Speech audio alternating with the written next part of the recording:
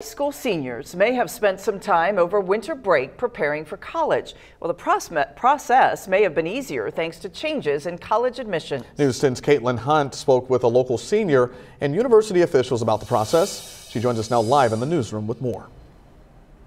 Patrice Rondrell, during the 2020 pandemic, many colleges and universities dropped their ACT or SAT testing requirement. Now, three years later, higher education officials have a clearer idea of how this affects students. High school senior Kaylin Stallard is ready for her college experience.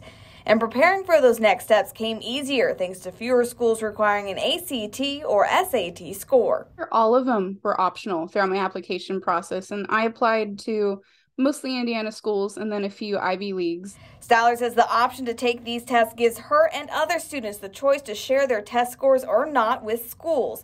It also gets rid of another financial burden when it comes to higher education. It would have been $144 for all the schools to receive that. So it is really helpful for low income students now because you know they can apply to whatever college they want without having to worry that it's going to be too expensive for them to even have a chance at getting in. Universities are also seeing benefits of dropping this requirement.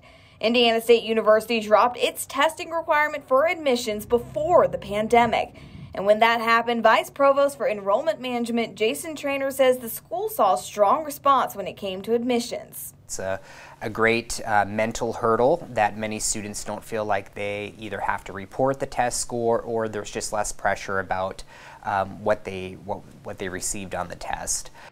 Trainer also says the university found test scores were not a strong indicator of whether students would be successful at the school. High school GPAs were better indicators of how successful a student would be.